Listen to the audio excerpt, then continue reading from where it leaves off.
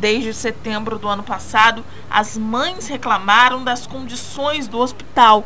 O pedido segue em análise pelo Tribunal de Justiça. A Secretaria Municipal de Saúde fez uma vistoria na unidade a pedido do promotor do Ministério Público, Leandro Manhães. Os documentos da vistoria foram analisados e, segundo o MP, a transferência dos pacientes para outros hospitais foi necessária.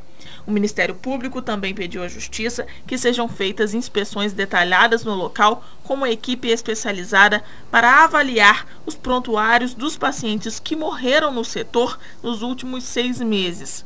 A direção da unidade informou que não foi notificada sobre o caso e só vai se pronunciar assim que tiver conhecimento de todos os detalhes.